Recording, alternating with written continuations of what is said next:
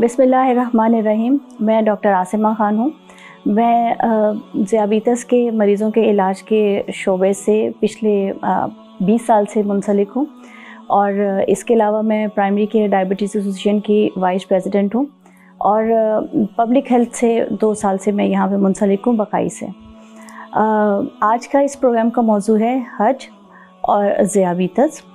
जैसा कि हम सब जानते हैं कि दुनिया भर में लाखों मुसलमान हर साल हज की अदायगी के लिए जाते हैं।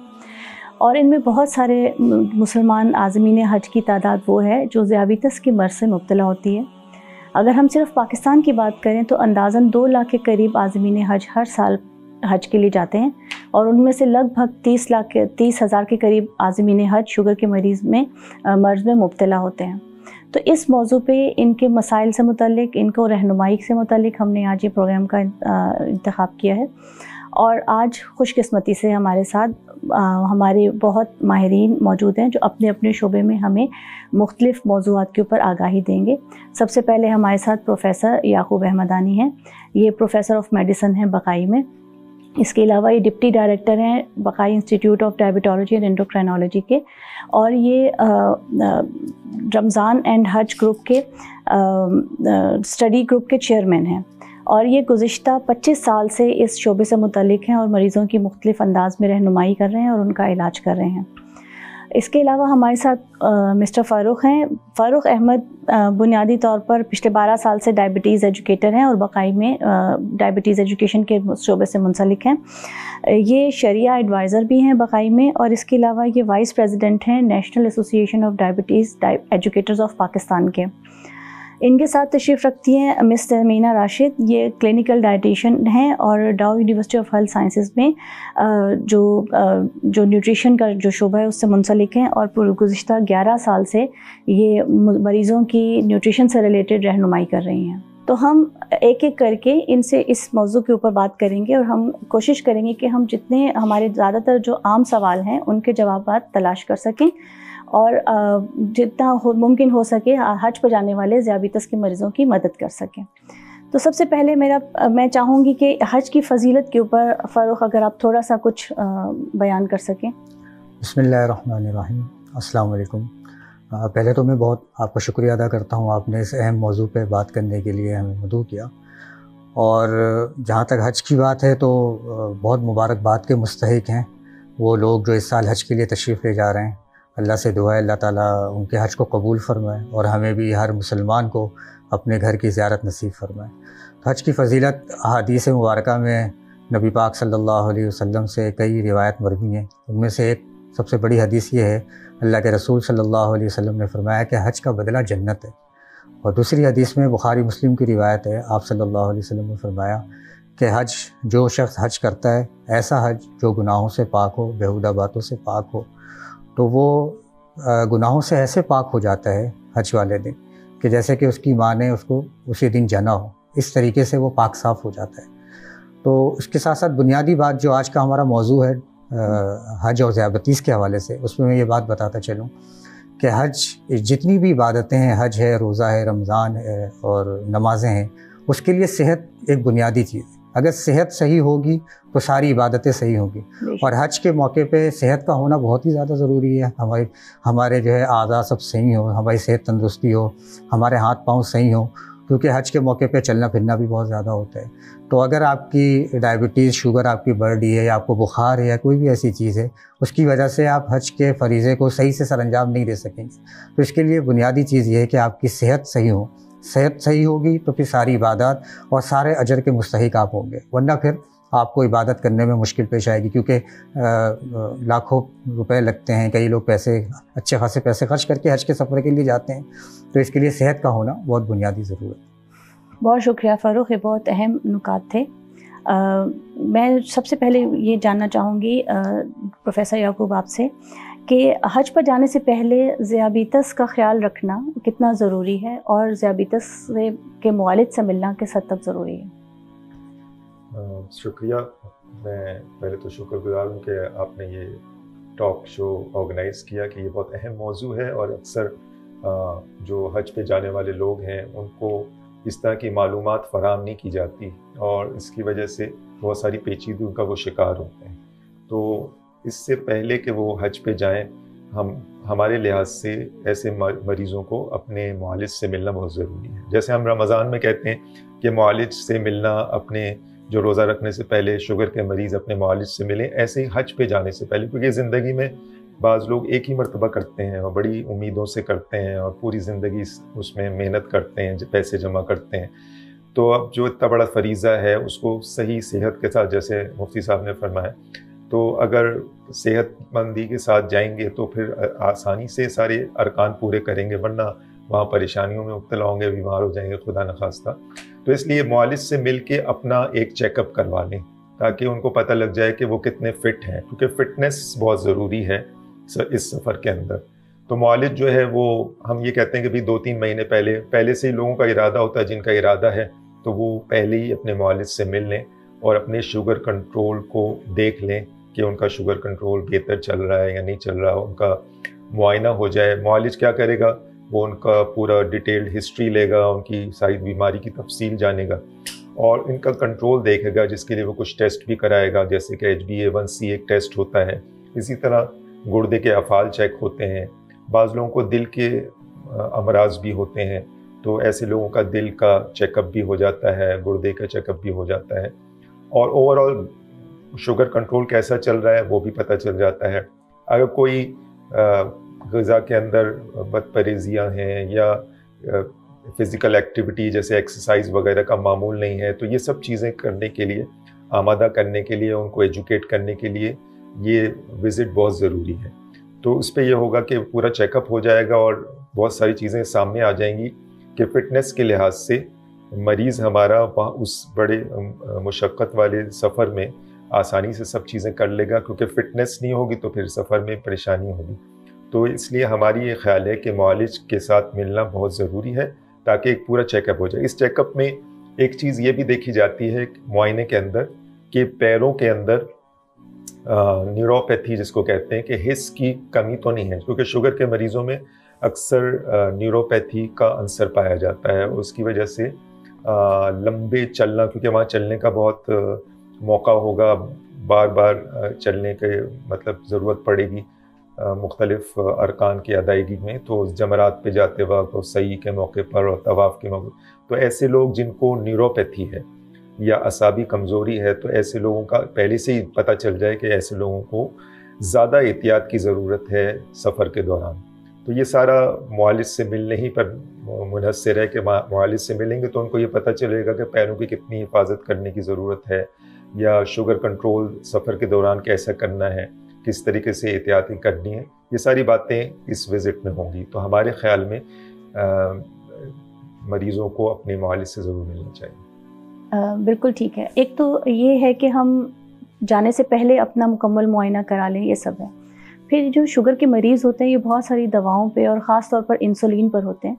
तो ये किस किस तरह से अपनी दवाएँ कितनी लेकर जाएँ और इसके अलावा अपनी शुगर की जो रेगुलर दवाएँ हैं ब्लड प्रेशर की शुगर की इनके अलावा कौन सी ऐसी दवाएँ जो उनको साथ लेके जानी चाहिए? हाँ, ये बहुत अच्छा सवाल है क्योंकि दवाओं का इस्तेमाल बाज़ लोग ये समझते हैं कि अब चूँकि हज पे जा रहे हैं तो दवाएँ वगैरह तो ज़रूरत नहीं है हम इंशाल्लाह वहाँ दुआ करेंगे और दुआ से काम हो जाएगा। बेशक दुआओं से ही काम होता है दवाओं में असर डालना भी अल्लाह के इख्तियार में है। तो ये तो सही बात है कि दुआ असल है लेकिन दवाओं को छोड़ना नहीं है। दवाओं को भी साथ लेके जाना है। तो हम ये कहते हैं कि भी जो दवाएँ आपकी मालिश तय करते हैं उन दवाओं का नुस्खा भी अपने साथ रखें उसकी एक दो कॉपीज़ भी साथ रख लें और अपनी एक ब्रीफ हिस्ट्री यानी आपकी बीमारी की क्या नौीयत चल रही है वो भी एक कागज़ पे लिखी भी हो तो हम्म। बहुत अच्छा है। तो वो साथ रख लें ताकि वहाँ चूँकि बाज़ मरतबा ऐसी मौका हो जाता है कि ज़बान के ना समझने की वजह से बाज़ लोग उर्दू नहीं समझते तो आप अपनी बीमारी को बता ना पाएँगे। तो उसमें अच्छा है कि आपके पास एक समरी आपकी लिखी भी हो कि आपको क्या क्या पेचीदगियाँ हैं और क्या क्या बीमारियाँ साथ चल रही हैं। और दूसरी चीज़ें अद्वियात की मुनासिब मकदार अपने साथ रखें। हम्म। ऐसे आप अगर 40 दिन के लिए जा रहे हैं तो 40 दिन की मकदार बल्कि कुछ ज़्यादा ही हो तो अपने साथ रखें। पूरी दवाओं का जितनी दवाएँ जो शुगर से मुतल हैं और इंसुलिन इंसुलिन भी इसके अंदर ख़ास तौर पे इस बात का ख्याल रखें कि इंसुलिन की कोल्ड चेन मेंटेन करनी होती है, यानी उसकी ठंडक का, को पूरे सफ़र में कायम रखना ऐसा ना हो कि वो किसी गर्म जगह पे रह गई या उसकी कोल्ड चेन मेंटेन नहीं हुई, बर, यानी बर्फ़ में तो नहीं रखना उसको, लेकिन ठंडे पानी में सहूलत के साथ रखी जा सकती है। थर्मोस के अंदर या कूल पैक्स आते हैं, उसके अंदर ये रखी जा सकती है। तो बहरहाल इसका एहतमाम करना कि अपने साथ इंसुलिन भी लेके जाएँ। बाद लोग कहते हैं कि इंसुलिन अगर हम ना लगाएँ तो सफ़र के अंदर तो क्या हर्ज है? हम्म। नहीं जो इंसुलिन लगाते हैं उनको इंसुलिन ही लेके जाना चाहिए। जो दवाएँ लेते हैं वो दवाएँ साथ लेके जाएँ। इसके अलावा भी कुछ चीज़ें हमें साथ रखनी है। मसलन ग्लूकोमीटर है जो। हमारी शुगर चेक करने का आला है। वो अक्सर लोग लेके नहीं जाते ये भी साथ रखना चाहिए। ख़ास तौर पे ये बहुत यानी काम आता है बहुत सारे मौक़ों पर। तो ग्लूकोमीटर उसकी मुनासिब मकदार में पट्टियाँ जिससे चेक किया जाता है। वो भी मुनासिब मकदार में रखी जाए। उसका भी कोल्ड चेन मेंटेन रहे उसकी भी ठंडक का ख्याल रखा जाए। इसके अलावा जो है ग्लूकोमीटर के अलावा जो चीज़ें हैं हमारे पास सिर्फ़ मास्क होने चाहिए सैनिटाइज़र्स होने चाहिए कि जो हम वक्ता फ़वक्ता यूज़ कर सकें। इसके अलावा जो है हमारे पास अगर हम चश्मे लगाते हैं तो एक इजाफी चश्मा भी अपने साथ रखें। इसी तरह छतरी भी अगर अपने साथ रख लें, क्योंकि धूप का मामला होता है तो डिहाइड्रेशन का भी ख़तरा होता है तो इसमें छतरी भी साथ रख लें। दवाएँ अपनी सारी साथ लेके जाएँ। ये कुछ चीज़ें हैं जो उनको अपने साथ रखनी हाँ। एक चीज़ ये भी है कि उनको अपने साथ कोई मीठी चीज़ हर वक्त अपने साथ रखनी चाहिए। मसलन कोई मशरूब का, मीठे मशरूब का डिब्बा हो, वो साथ रख लें, या कोई खजूर साथ रख लें, ताकि कभी शुगर लो हो तो उसकी पर वक्त इलाज हो सके। सर हमने नोट किया कि जैसे ये लोग जा रहे होते हैं आज़मीन हज तो उसमें उनकी वैक्सीनेशन करवाई जाती है। तो इन लोगों के लिए यही वैक्सीनेशन सारी कंप्लीट या इसके अलावा भी कोई और होनी चाहिए? आजकल जो वैक्सीनेशन ख़ास तौर पे लगाई जाती हैं उसमें एक मैनजाइटिस का वैक्सीनेशन होती है जो कि कंपलसरी होती है वो वहाँ चेक किया जाता है। इसी तरह इन्फ्लुएंज़ा के वैक्सीन होती है। और आजकल चूँकि कोविड अभी रिसेंटली गुजरा है, एक वबा सारी दुनिया में चली है तो ये कोविड वैक्सीन के भी रिक्वायरमेंट है कि सऊदी हुकूमत इसको चाहती है कि ये दो तीन वैक्सीन ज़रूर लगा के जाएँ। तो ये हाजी कैंप से ये वैक्सीन आसानी से लग जाती हैं। तो हर हाजी को जो आजमीन हज हैं, उन सबको ये वैक्सीनेशन करा के जानी चाहिए। बिल्कुल सही है। अच्छा एक बहुत अहम मौजू ये है मैं फ़ारूक से पूछना चाहूँगी वो इसकी माहिर हैं कि जो मरीज़ है शुगर का उसको दौरान हज सफ़र के दौरान कैसे पता चलेगा कि उसकी शुगर लो हो रही है या एकदम हाई हो रही है? बहुत अच्छा सवाल किया आपने। असल में जो हज के सफ़र पे जो है ना चलना बहुत ज़्यादा होता है। हम्म, हम्म। कभी मीना से जमरात जा रहे हैं कभी अरफात जा रहे हैं तो पैदल चलना बहुत ज़्यादा होता है जिसकी वजह से शुगर का लो होना बहुत ज़्यादा इसमें ख़तरा होता है कि शुगर लो हो जाए। उसके अंदर उमूमी तौर पे हर डायबिटिक पेशेंट को जो है उसको अलामत का उसके सिम्टम्स का पता होता है। लेकिन उमूमी तौर पे जो सिम्टम्स आते हैं वो ठंडे पसीने आ रहे होते हैं है? आँखों के सामने अंधेरा छा जाता है और बेहोशी वाली कैफियत हो जाती है। तो जैसे याकूब साहब ने फरमाया कि हज पे जाने से पहले अपने साथ अपने सामान में ग्लूकोमीटर अपने साथ सफ़र में ज़रूर रखें। हम्म। तो हज के पहले दिन से जब घर से निकलें तो अपने साथ हैंड कैरी में अपने साथ ग्लूकोमीटर लाजमी रखें। जब भी कोई भी सिम्टम्स आ रहे हो हम्म। चाहे शुगर लो होने के सिम्टम्स आ रहे हो या हाई होने के सिम्टम्स हम्म। आ रहे हो लो होने के जैसे मैंने बताया ठंडे पसीने आ रहे हैं या बेहोशी वाली कैफियत हो रही है आँखों के सामने अंधेरा छा गया है तो फौरी तौर पे शुगर चेक करें आपका ग्लूकोमीटर आपको बताएगा कि आपकी शुगर कितनी आ रही है बिल्कुल ठीक अगर शुगर लो आ रही है फॉर हम्म। एग्ज़ाम्पल अगर उसकी साठ आ गई है या साठ से कम आ रही है तो उसको उसी एतबार से उसको ट्रीट करना है। खास तौर पे जब वहाँ पे मौसम बहुत गर्म है और आमतौर पे बहुत तेज धूप या बहुत गर्मी या पानी की कमी से भी इस तरह की अलामत होती हैं बिल्कुल। तो इस कन्फ्यूज़न को दूर करने के लिए ग्लूकोमीटर साथ होना ग्लूकोमीटर लाजमी अपने साथ। बिल्कुल ठीक है। इसके अलावा इसकी जो जैसे हमने वजूहत पे गौर किया कि इस तरह से इसके अलावा भी कोई वजूहत हो सकती हैं? शुगर एकदम लो हो जाए या हाई हो जाए? जी उसकी एक वजह ये भी होती है कि एक तो चलना ज़्यादा होता है अगर हम्म। खाने पीने में गैप आ गया गैप बहुत ज़्यादा। हम्म, हम्म। जैसे अब रात में जैसे मुजलफा की तरफ़ जाना होता है या फिर जमरात में जा रहे हैं तीन चार घंटे तक वॉक होती रही होती रही होती रही और दरमियान में कुछ खाया नहीं। कि जैसे डाइटिशियन अभी वो बताएँगे आपको हम्म। कि हर तीन घंटे में ढाई से तीन घंटे में हमें कुछ ना कुछ कोई स्नैक्स वगैरह रखें अपने साथ और वो लेते रहें खाते रहें तो फिर हम्म। शुगर लो होने का ख़तरा कम हो जाएगा तो इसलिए एक तो ग्लूकोमीटर अपने साथ रखें अपने साथ ये जूस रखें अपने साथ जूस का डब्बा रखें खजूरें रखें अपने साथ जहाँ ये सिम्टम्स आ रहे हों तो सबसे पहले शुगर चेक करें हम्म। और अगर शुगर लो हो रही है तो फिर फौरी तौर पे उसके हिसाब से कोई जूस वगैरह वो पी लें और उसको कंट्रोल करें असल चीज़ ये है कि शुगर लो क्यों हो रही है ये समझने की ज़रूरत है कि खाने पीने में गैप ना आए। बहुत ज़्यादा एक्टिविटी से भी जो है शुगर लो होने का ख़तरा होता है तो इस चीज़ से अवॉइड करें। जहाँ पे पैदल चलने का पैदल चलने की ज़रूरत है वहाँ पैदल चलें। जहाँ बस के ज़रिए से जहाँ जा सकते हैं मीना से अरफात की तरफ़ तो वहाँ बसों का या ट्रेन का इस्तेमाल करें और हम्म। पैदल चलने से अवॉइड करें। और मिसाल के तौर पर अगर उस वक्त शुगर जो ग्लूकोमीटर है वो काम नहीं कर रहा या किसी किस्म का शक हो रहा है या कोई भी इस तरह का मसला तो उस केस में हम एहतियातन ज़रूर कुछ मीठा दे दें अगर ऐसा हो रहा है और बिल्कुल। ग्लूकोमीटर अवेलेबल ना हो सके तो यही आ रहे होंगे शुगर के लो। होने के उसको पता भी है कि मैंने कितनी देर पहले मैंने खाना खाया था तो अमूमी तौर पे यही सिम्टम्स आ रहे हो होते हैं तो इस तरीके से दो तीन तीन तीन अदद खजूर खा लें हम्म। या अगर जूस है तो जूस पी लें उसके बाद भी एहतियात ये कि पंद्रह मिनट के बाद शुगर चेक कर लें बाज़ अवक़ात इन सब चीज़ों के बाद भी शुगर लो नहीं शुगर जो है बढ़ती नहीं है।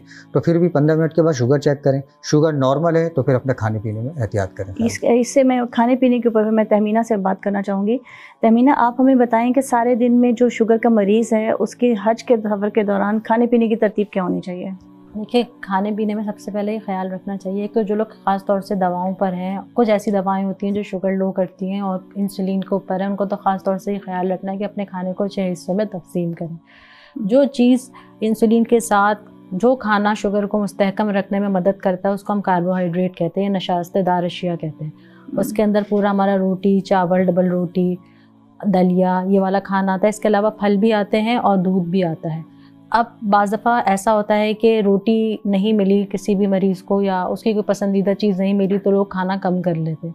ऐसी सूरत में हम मरीज़ को ये कहते हैं कि वो अपने फल को भी अपने नशास्ते के तौर पे शुगर मुस्तहकम रखने वाले ग्रुप के अंदर इस्तेमाल कर सकता है या दूध या दही को भी इस्तेमाल कर सकता है। पहले तो जो हमारे तीन खाने होते हैं उसके अंदर तो हम रोटी ले लिया चावल ले लिया या दलिया ले लिया। या जो भी आपको वहाँ पे रोटी अवेलेबल नहीं है तो आपने कोई डबल रोटी ले ली। उस वो ले लिया। लेकिन अगर ऐसा है कि एक से रोटी के ऊपर अपनी शुगर नॉर्मल रखते हैं या डेढ़ रोटी पे रखते हैं आपको पता है कि आपकी ये खुराक है और इस पर आपकी शुगर नॉर्मल रहती है। और आपने आधा खाना खाया फ़र्ज़ कर हम डेढ़ रोटी खाते हैं और आपने सवा रोटी खा ली और कुछ रोटी आपकी रह गई है तो आप आधी रोटी में जैसे पंद्रह ग्राम कुदरती शक्कर मौजूद होती है तो उस सूरत में आप तीन खजूरें खा के भी डेढ़ रोटी जितना अपना खाना कर सकते हैं, जो आपके शुगर लेवल को मुस्तकम रखने में मदद करेगा। हम ये कहते हैं, आमतौर पर मरीज़ों को कि खाना खाने के दो घंटे के बाद कोई फल या दूध का इस्तेमाल करें। उसकी वजह ये होती है कि हम खाने के बाद की शुगर को कंट्रोल करना चाह रहे होते हैं और हमारे मरीज़ वैसे रोटी चावल ज़्यादा खा लेते हैं या अमूमी तौर पर अपनी जितनी खुराक चाहिए होती है उतनी खाते हैं लेकिन ऐसी ऐसी इमरजेंसी वाली सिचुएशन में जब अपनी खुराक अपनी वो जो हिस्सा नहीं खा पा रहे वहाँ दूसरे कार्बोहाइड्रेट या दूसरी नशास्तदार अशिया से अपने उसको बदल बदला जा सकता है हम्म। और ऐसे में शुगर बिल्कुल सही रहती है अब बहुत सारे फल हमारे मौजूद जैसे केला है केले का साइज़ मुख्तलिफ़ है पाकिस्तान में और वहाँ पे हम्म। जैसे यहाँ का एक छोटा केला हम कहते हैं कि एक फल का एक पोर्शन होता है तो वहाँ पे आधा केला भी हो सकता है। तो ऐसी सूरत में आप केला खा सकते हैं दरमियानी औकात में। वहाँ पे दूध और दही के डब्बे मिल रहे होते हैं वो एक अच्छा ऑप्शन होता है आपके पास कि आपको जूस लें उस वक्त शुगर आपकी हाई हो जाए तो आप दूध दरमियानी औकात में ले लें। ठीक। तीन नॉर्मल खाने और तीन छोटे खाने। अब इसमें जैसे मैंने आपको बहुत सारी चीज़ें बता दी फल वगैरह उसमें आ सकते हैं दूध आ सकता है। अच्छा सब्जियों का इस्तेमाल हम कहते हैं सलाद का बहुत अच्छा है लेकिन आम हज के दिनों में थोड़ा इसको अवॉइड करने को कहते हैं। इसकी वजह ये होती है कि हाइजेनिक प्रैक्टिसेस इतनी अच्छी नहीं होती सफ़ाई का नहीं पता होता तो वहाँ पर आप उसको ना अवॉइड कर ले तो बेहतर होगा। रेडिली अवेलेबल भी नहीं होता। सलाद हाँ। आम तौर पे बिल्कुल। जो वहाँ पे खासतौर खास तौर पे जो सरकारी उसमें आज़मीन हज जा रहे हम्म। होते हैं उनके हर खाने के साथ सलाद का इतना बड़ा पोर्शन होता नहीं है। हाँ, तो वो उसको फिर हम दूसरा कवर ये तो एक बात हो गई कि हम हम्म। अपना जो अगर रोटी की मिकदार कम कर दी है तो हम्म। उसमें हम उसको फल से कवर कर सकते हैं अगर मिसाल के तौर पर रोटी या चावल की मकदार अपनी वैसी खा रहे हैं जैसे रूटीन में हम्म। खाते हैं तो उसके साथ फिर फल का इस्तेमाल किस तरह हाँ। से किया जा सकता है बिल्कुल अब इसमें यह बात यह है कि तीन हमने नॉर्मल खाने खाए और वो हमें सही मकदार हमें मिल रही है और उसमें हमारी शुगर नॉर्मल रहती है अब हमारे फल के फल का फल को हम स्नैक के तौर पे कह रहे हैं अब तीन खजूरें दरमियाने साइज़ की एक स्नैक का पोर्शन होता है। यहाँ का एक छोटा केला एक स्नैक का पोर्शन होता है। एक दरमियानी साइज़ का सेब एक स्नैक का पोर्शन होता है। एक प्याली दूध या एक छोटा सा पाव का डब्बा जो मिल जाता है, वो आपका एक स्नैक का पोर्शन होता है। ये सारे आप अपने पर्स में आराम से कैरी कर सकते हैं और ये आप अपने साथ रखें। और हाइपो की जहाँ तक बात है शुगर लो होने की अगर सत्तर या सत्तर से कम है तो इसको अगर आप जैसे कि जूस है, जैसे आधा कप अगर आपने जूस ले लिया तो उसके बाद अगर आपने चेक किया आपकी शुगर नॉर्मल है तो आपको फ्रूट खा ले तो ज़्यादा बेहतर होगा कि आप बहुत ज़्यादा जूस पी के उसको ट्रीट करके कहीं उसको शुगर को बढ़ा ना लें। तो ये भी आपको देखना होगा कि अगर आप ट्रीट कर रहे हैं तो कितनी मकदार में आप ऐसा खाना ले रहे हैं शुगर को नॉर्मल रखने में मदद कर रहा है। सर फ़ारूक ने कहा कि पंद्रह मिनट के बाद भी उनकी लो है तो फिर वापस से वो ट्रीटमेंट को रिपीट कर लें तो बेहतर होगा बजाय इसके कि एक साथ बहुत ज़्यादा कोई मीठी चीज़ लेके हाई ना कर ले अपनी शुगर को। और ये सारी जो जूस के डब्बा वगैरह की हम्म। जैसे आप हिदायत दे हम्म। रही हैं उन लोगों के लिए जिनकी नॉर्मल या लो साइड पर रहती है। इसलिए कि ऐसे बहुत सारे मरीज़ हैं जिनकी थोड़ी हायर साइड पे रहनी हम्म। होती है। तो ये जूस जो ख़ास तौर पर जो है ना उसके पीने की हिदायत उन सब लोगों के लिए नहीं, नहीं है। इसी तरह आप मुझे फिर थोड़ा सा गाइड करें कि पानी का इस्तेमाल वहाँ पे कितना करना चाहिए। इसलिए कि बहुत गर्म मौसम होता है वहाँ पर। देखिए वैसे तो नॉर्मली हम 10 से 12 ग्लास एक नॉर्मल एवरेज आदमी की ज़रूरत कहते हैं लेकिन ऐसी सूरत में जब आप आपको पता है कि पसीना ज़्यादा खारिज हो गया है और आपने ज़रूरत से ज़्यादा वॉक कर लिया तो आपको पानी आप इससे इजाफी भी पी सकते हैं। हम्म। तो आप उसको फिर और जितना आप, आप आपको लग रहा है कि आपने पसीना ज़्यादा आया तो आप उसको एक गिलास से रिकवर कर लें और बाद फिर आप थोड़ी देर बाद दोबारा भी उसको पी सकते हैं। बजाय इसके कि आप लिक्विड में कोई जूसेस ले रहे हैं आप पानी से ही अपने जो पानी आपकी बॉडी ज़्यादा पसीने की सूरत में खारिज कर रही है पानी ही उसको रिकवर करें। ख्याल रखें कि बारह पंद्रह ग्लास तो आप एक दिन में पूरे कर लें। बहुत अच्छा। और इसके अलावा अगर कोई आ, कोई ख़ास आपको ऐसा महसूस करती हैं कि हज पे जाने वाले लोगों के कोई ख़ास मसला है जो आपसे डिस्कस करते हैं और आप इसको यहाँ पे हम्म, कहना चाहेंगे मैं अपने प्रैक्टिस में कहना चाहूँगी जो मेरे पास सुन आते हैं लोग के वो ये कहते हैं कि हमने तो अपनी दवाएँ हमारी तो शुगर इतनी अच्छी रहती थी कि हमने दवाएँ वहाँ पर छोड़ दी थी। तो ये हम्म। आमतौर से लोग बहुत ये बात कह रहे होते हैं। अब हमारे यहाँ लोगों की ये बहुत आदत होती है कि किसी ने रिश्तेदार ने या किसी ने पड़ोसी ने कोई बात कह दी तो वो अपने ऊपर वो इम्प्लीमेंट करना स्टार्ट करते हैं। वो एक इनफरादी मसला है उनकी उनके साथ हो गया होगा लेकिन आप अपनी दवाओं को जैसे डॉक्टर ने एडवाइस की है उसके हिसाब से लें और शुगर को चेक करके अंदाज़ा लगाएँ कि दवा में कमी करनी है या इंसुलिन में कमी करनी है या नहीं करनी है। ठीक है, और दूसरी बात मैं कहना चाहूँगी कि चिकनाई वाली जैसे बहुत सारी ऐसी चीज़ें मिल रही होती हैं, बेकरी की चीज़ें, बिस्किट बहुत ज़्यादा वहाँ पे तो लोग उसको बहुत ज़्यादा खाना शुरू कर देते हैं तो वो आपने अवॉइड करना चाहिए। अगर रख भी रहे हैं बिस्किट के पैकेट तो वीटेबल बिस्किट ईजिली अवेलेबल है। आप उसको रखें और वो ले सकते हैं। भुने चनों में थोड़े नट्स को मिला के पैकेट में रख सकते हैं। इंजीर रख सकते हैं। ये सारी वो चीज़ें जो आराम से आप कैरी कर सकते हो, ख़राब भी नहीं होती। तो आप कोशिश ये करें उस दौरान भी सेहतमंद चीज़ों को तरजीह दें ताकि वो आपकी सेहत अच्छी रहे। बिल्कुल ठीक है। मैं वापस प्रोफेसर याकूब की तरफ़ आऊँगी। हम जिस तरह से देखते हैं कि बहुत रश होता है, इस हजूम की वजह से ये होता है कि पाँव में हसासीत भी आप जैसे बता रहे हैं कि अक्सर शुगर के मरीज़ों में कम होती है तो पाँव में उस वक्त कोई चोट लग गई, कोई ज़ख़म हो गया या जैसे किसी गर्म सतह पे रख दिया, छाला वगैरह हो गया तो उसके लिए फिर वो मरीज़ क्या करें? इसीलिए ये एहतियात बताई जाती है कि पैरों का मुआयना पहले हो जाए और अगर ये मालूम हो जाए कि ऐसे मरीज़ को हिस्स कम है और उसको न्यूरोपैथी है असाबी कमज़ोरी है तो ऐसे लोगों को अपने पैरों का बहुत ख्याल करना है। वहाँ नंग, नंगे पैर बिल्कुल नहीं चलना। कोशिश करके मोज़े या जराबे पहने। एहराम की हालत के अलावा की बात हो रही कि एहराम के अलावा जो दिन है उसमें हम कोशिश करें कि नंगे पैर ना चलें क्योंकि सहन की ज़मीन जो होती है वो गर्म होती है। अगरचे मताफ वगैरह तो ठंडा होता है और मस्जिद के अंदर भी ठंडा होता है लेकिन सहन की ज़मीन ऐसी होती है कि गर्म होती है। तो अगर न्यूरोपैथी जिन मरीज़ों को होती है अगर वो गर्म ज़मीन पे चलेंगे उनको पता भी नहीं चलेगा पैरों हम्म। पे बड़े बड़े आबले हो जाएँगे। हम्म। और ये आबले फिर बड़े ज़ख्मों का बनने का ज़रिया बन जाते हैं। तो इसका हर मुमकिन कोशिश करें कि नंगे पैर जो है वो गर्म ज़मीन पे नहीं चल रहा है। और दूसरा ये कि मोज़ों को पहन लें किसी चीज़ से, मोज़े पहन लें तो ज़्यादा अच्छा है। बाकी अपने चप्पल जो वो वहाँ पहनेंगे ख़ास तौर पे एहराम की हालत में लोग दो पट्टी के चप्पल पहनते हैं, आमतौर पे देखा गया है। तो ये दो पट्टी के चप्पल उमन हम मरीज़ों को मना करते हैं कि शुगर के मरीज़ उमन ये इस्तेमाल ना करें, जिससे ज़ख़म होने का ख़तरा होता है बहुत ज़्यादा। तो अपने चप्पल जो है वो ऐसे लें कि जिसमें ख़तरा कम से कम हो। चप्पल यहीं से पहनना शुरू कर दें। एकदम नया चप्पल वहाँ जाके पहनते हैं तो फिर नया चप्पल आपको पता है कि पैर कटने लगता है छाले हो जाते हैं। तो यहाँ से पहन पहनने तो उसकी आदि हो जाए उन चप्पलों की।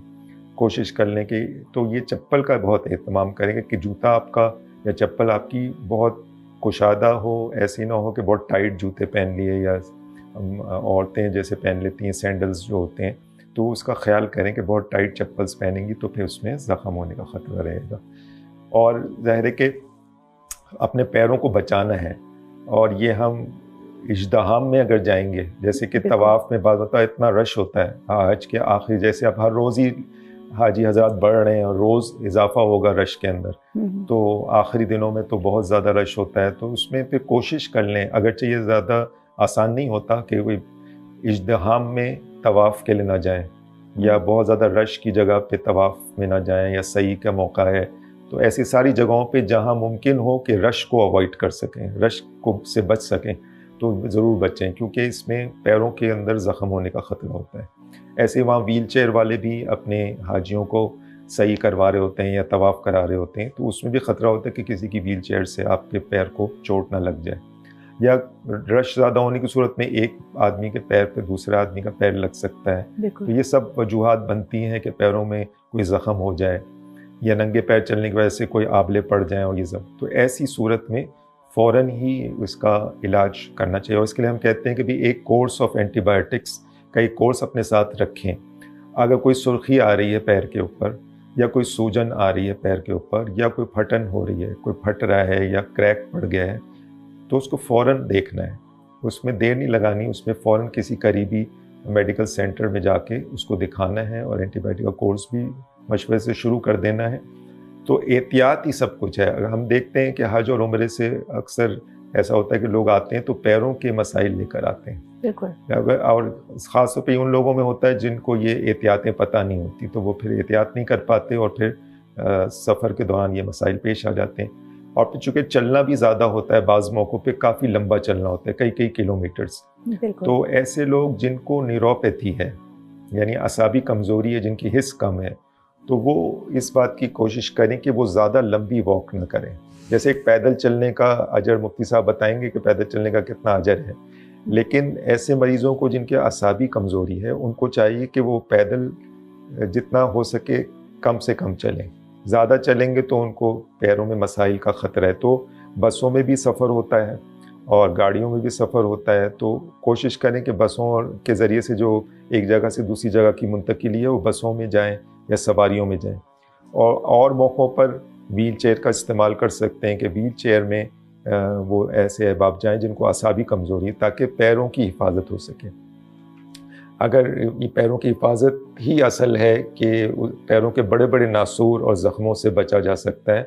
और ये थोड़ी सी मरीज़ों को बता दिया जाए कि कौन सी अलामत हैं जिनकी वजह से पैर ख़तरे में आ गया है। तो वो हम्म। यही बात है जो मैंने आपसे अर्ज़ किया।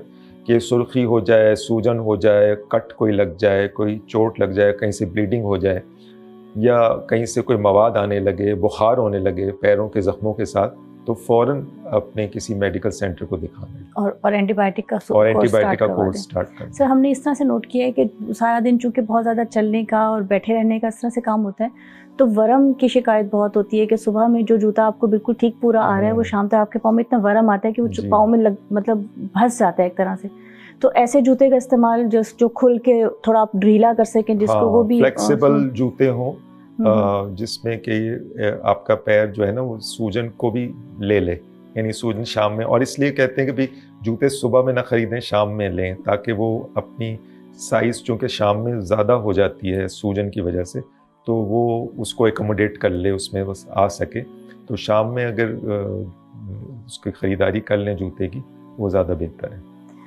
आ, मैं फिर से फ़रूख से पूछूँगी कि जैसे ख़ास तौर पे जो अयाम हज होते हैं उसमें फ्रिज वगैरह की सहूलत नहीं होती है। तो जो इंसुलिन लगाने वाले मरीज़ हैं और मौसम भी हमें अंदाज़ा है कि बहुत गर्म होता है एसी हालाँकि वहाँ पे इतना अरेंज किया होता है इसके बावजूद अच्छा बहुत ठंडा इन्वायरमेंट नहीं होता। तो इंसुलिन को वो किस तरह से कैरी करें उस दौरान? इंसुलिन के बारे में यह है कि यहाँ से फार्मेसी में आइस पैक मिलते हैं। हम्म, हम्म। जो छोटे से होते हैं वो बैग में आराम से कैरी कर सकते हैं। तो अगर इंसुलिन को उसके अंदर उसके साथ रखें तो वो तकरीबन छः से आठ घंटे सपोर्ट कर सकता है तो इसके अलावा मीना में खेमों वगैरह के अंदर भी जो है फ्रिज वगैरह होते हैं वहाँ पे भी रख सकते हैं। हम्म। इसके अलावा सबसे अच्छा ये कि वो पेशेंट जो इंसुलिन पेन यूज़ करते हैं बहुत सारी इंसुलिन ऐसी है जो पेन में आते हैं। तो उसके लिए स्टोरेज का यह है कि वो तकरीबन 35 टू 38 सेंटीग्रेड तक वो सपोर्ट करता है। हम्म। तो अगर इससे भी ज़्यादा गर्मी है अब वैसे तो आप उसको रूम टेम्परेचर में भी उसको रख सकते हैं। अगर इससे ज़्यादा गर्मी है तो आप उसको फ्रिज में रखें या फिर अपने साथ आइस पैक रखें उसके साथ इंसुलिन को रखें तो इन इंसुलिन ख़राब नहीं होगी और इंसुलिन इंसुलिन जो है स्किप करने की ज़रूरत भी नहीं पड़ेगी और आप रेगुलर इंसुलिन जो है इस्तेमाल भी कर सकते हैं आप। बहुत शुक्रिया फ़रोख। मुझे एक और बात सवाल जहन में आ रहा है। डॉक्टर याकूब अगर एक हम तो इस वक्त बात कर रहे हैं ज़ियाबितस के मरीज़ ज़ियाबितस से रिलेटेड पेचीदगियाँ लेकिन हम जैसा नोट करते हैं कि पानी की कमी बेशी से इस तरह से कैद दस्त बुखार नज़ला ज़ुकाम इस तरह की आम जो मौसमी बीमारियाँ हैं वो अगर इन मरीज़ों को होती हैं तो उसको वो किस तरह से हैंडल करेंगे? हाँ ये अच्छा सवाल है क्योंकि ये अक्सर पेश आ जाता है कि नज़ला ज़ुकाम तो सभी को हो जाता है वहाँ खांसी हो जाती है इस तरह के हम्म। मसाइल चलते हैं वहाँ। तो इस तरह की कुछ मेडिकेशंस अपने साथ रखें। जैसे कि एंटी एलर्जिक होती है इन दवाओं को रखना चाहिए पैनाडोल या इस तरह की दर्द की, बुखार की दवाएँ। दस्तों के लिए ओआरएस के कुछ पैकेट्स रख रहे हैं अगरचे ओआरएस में शुगर होती है तो इसका इस्तेमाल तो हम नहीं रिकमेंड करते। लेकिन मशरूबात की जैसे बात आ गई, मशरूबात का इस्तेमाल ज़्यादा होगा जब दस्तों को और कह के मसाइल होंगे। तो ये और इसमें भी लाइटली नहीं लेना चाहिए। अगर किसी को मोशन हो रहे उल्टियाँ हो रही तो करीबी क्लिनिक में जाके फ़ौरन मशवरा कर लें। तो इंशाल्लाह फिर इन चीज़ों से बच सकते हैं। बाकी कुछ दस्तों की दवाएँ दस्तों को रोकने के लिए दवाएँ आती हैं। वो रख लें अपने साथ उल्टी की दवा अपने साथ रख लें। एंटी एलर्जिक दवाएँ होती हैं नज़ला और फ्लू और इस तरह की चीज़ों के लिए जो शानदार रख सकते हैं। लेकिन अगरचे जो शुगर वालों के लिए ये भी मसला है हम्म। तो बहरहाल ये चीज़ें अपने साथ रख सकते हैं। बिल्कुल सही है। मैं तहमीना आपसे फिर पूछूँगी कि हमारे पास वहाँ पर चूँकि एक साथ बहुत ग्रुप के लिए खाने वगैरह का अहतमाम होता है तो जो आम तौर पे नोट, नोटिस किया जाता है कि वहाँ पे अक्सर खाने में जैसे चावल की कोई डिश होती है या बहुत मुरगन खाने होते हैं आम तौर पे जो वहाँ सालन बनाए जाते हैं बहुत मुरगन होते हैं। तो इसके लिए फिर इसको किस तरह से वो हैंडल करें? इसलिए कि अलहदा से अपने लिए तो ज़ाहिर कोई वो अहतमाम नहीं कर पाएँगे। तो इनको कैसे देखेंगे देखिए जैसे मैंने अपनी बात शुरू की थी कि चावल अगर बहुत ज़्यादा खा रहे हैं तो बहुत ज़्यादा नशास्ता मिल जाएगा। नशास्ता ही पहला ज़रिया होता है जो सबसे पहले शुगर को अफेक्ट कर रहा होता है। हम्म, हम्म, और उसके साथ चिकनाई उसके बाद फिर चिकनाई कर रही होती है। अगर चावल बहुत चिकने हैं और बहुत ज़्यादा है तो बेहतर ये है कि आप अपने चावल कम खाएँ और दही ले लें या कोई फल ले लें आप खाने के ऑल्टरनेट उसके साथ कुछ ऐड करें बहुत ज़्यादा उसे ना करें। हाँ और दूसरी बात ये कि अगर आपको अब चिकन भी ज़ाहिर बात है वो भी अगर बहुत ज़्यादा तेल वाली चीज़ में है तो वो तो नहीं हो लेकिन बोटी आपको लग रहा है कि हम्म, आप ले सकते हैं ऐसा कोई मसला नहीं है दो से तीन ले लें और चावल को कम कर दें। तो अपने खानों में ज़रियों को बदलना चाहिए। एक तो ये कि चावल की बहुत ज़्यादा मकदार को कम करें चिकनाइयों को कम करें फलों को उसकी जगह पे शिफ्ट कर लें और बोटी अगर चिकन की मिल जाती है आपको पता है कि उस पर कोई सी तली भी नहीं है क्योंकि ब्रोस्ट भी वहाँ बहुत खाया जाता है।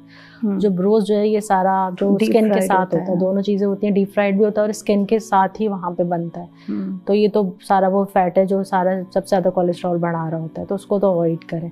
बाकी बाकी यही है कि आप अपना फल, जैसे मैंने आपको बताया, वो सिर्फ़ गिनने का, गिन, गिनना पड़ता है हमें कि कितना निशास्त हमारे शुगर को नॉर्मल रखता है। तो अगर आप ये देख रहे हैं कि फल खाना और में थोड़ा फल, थोड़ा दूध और थोड़ा चावल कम करके शुगर नॉर्मल रहती है तो कर लें और दो घंटे बाद फिर कोई फल ले लें। वैसे हम डाइट प्लान किसी का डिज़ाइन करते हुए दो फल करते हैं जब हम कैलोरीज के हिसाब से, लेकिन ऐसी सूरत में हम अपनी कैलोरीज का ज़्यादा हिस्सा फल से भी ले सकते हैं, अगर हम नशास्ता कम करें। ये बिल्कुल किया जा सकता है और सेहतमंद तरीका। बिल्कुल ठीक है। अ, सर मैं आपसे पूछूँगी कि जब ये सारे आज़मीन हज वापस आते हैं जब हज से फारग होकर वापस आते हैं तो फिर उनको अपने वापस मौलिद से मिलना चाहिए क्या इकदाम करने चाहिए? जी हाँ बिल्कुल अ, सफ़र के बाद अपने वालिद से मिलना बहुत ज़रूरी है क्योंकि एक मुशक्क़त वाले सफ़र से गुज़रते हैं बहुत सारी चीज़ें पेश आती हैं तो अच्छा है कि एक चेकअप हो जाए जिसमें अगर दवाएँ सफ़र के दौरान एडजस्टमेंट की ज़रूरत पड़ी है और दवाएँ कम हो गई या ज़्यादा हुई तो उनको दोबारा से एडजस्टमेंट की ज़रूरत होती है। तो वो उसके लिए भी हो जाए ख़ास तौर पे पैरों का जो जैसे पहले भी अर्ज़ किया पैरों के मसाइल होने का ख़तरा ज़्यादा होता है। तो चेकअप एक फिर से हो जाए कि पैरों में तो कोई मसला पेश नहीं आया और पैर सही हैं। तो ये हज के बाद भी अपने मौलिद से मिलना ज़रूरी है आ, ताकि फिर से री एवेल्यूएट कह लें या फिर से मुआयना हो जाए और फिर से हमें ये पता चल जाए कि अब आप बैक टू नॉर्मल हैं फिट हो गए हैं और आप अपने काम काज जैसे पहले कर रहे थे वैसे कर कर, कर सकेंगे। तो ये बहुत ज़रूरी है। अपनी दवाओं को भी एडजस्टमेंट करा लें अपने शुगर कंट्रोल के ऊपर भी एक नज़र हो जाए। तो सारा एक चेकअप फिर से होना चाहिए। आ, सर आ, आप आखिर में मुझे ये बताइएगा कि जो हमारा ये रमज़ान और हज स्टडी ग्रुप है इसका क़्याम क्यों अमल में आया? और इससे अब तक कैसे मरीज़ों को फ़ायदा हो चुका है? शुक्रिया, ये लंबी दास्तान है। 2008 में हमारा ये Ramzan and Hajj study group बना था, जिसका मकसद ये था कि उस वक्त ये बात चल रही थी कि भाई मरीज़ जो हैं, रमज़ान में रोज़े शुगर के मरीज़ नहीं रख सकते और उनके लिए बड़ा ख़तरा है और उनको रोज़े नहीं रखने चाहिए। तो हमने कहा कि भी इसको हम तहकीक से साबित करें कि वाकई ऐसा है। या नहीं है क्योंकि हम तो कई सालों से मरीज़ों को देख रहे हैं वो रोज़े भी रखते हैं शुगर के साथ और उनको कोई ऐसे मसाइल नहीं होते जो कि मतलब मार्केट में जो जिनको डाला गया था कि ये इस तरह के मसाइल हो जाते हैं। तो बहरहाल तहकीक एक इसका मकसद था तहकीक करना और एक इसका मकसद था कि लोगों को अवेयरनेस देना एजुकेशन देना। तो ये दोनों मकासद के साथ ये तकरीबन पंद्रह साल हो गए अलहमदिल्ला ये रमज़ान पहले रमज़ान स्टडी ग्रुप था फिर इसमें हमने कुछ पिछले चार पाँच सालों से हज को भी शामिल कर लिया कि हज में भी बहुत सारे लोग जाते हैं और उनको मसाइल पेश आते हैं। हमने जो देखा बहुत सारे मस, लोगों को मसले पेश आते थे ख़ासतौर पर पैरों के मसले शुगर लो होने के मसले हाई होने के मसले। तो हमने कहा कि इसके लिए भी आगही होनी चाहिए और बहुत सारे मसलों से परेशानियों से पेचीदगियों से बचा जा सकता है अगर सिर्फ़ अवेयरनेस कर दी जाए लोगों को आगाही दे दी जाए। तो इसमें ये दो ये दो मकासद थे कि रिसर्च की जाए और तहकीक यानी की जाए और दूसरा ये कि लोगों को अवेयरनेस दी जाए ताकि मरीज़, जो अवेयरनेस जिनको मिल जाती है, उनके अंदर पेचीदियाँ कम होती हैं, ये तहकीक से साबित हो चुका है। तो ये इसका मकसद था और ये अलहमदिल्ला पिछले पंद्रह साल से ये ग्रुप काम कर रहा है और उसका मकसद यही है कि ज़्यादा से ज़्यादा लोगों को एजुकेट किया जाए और इस पर तहकीक की जाए।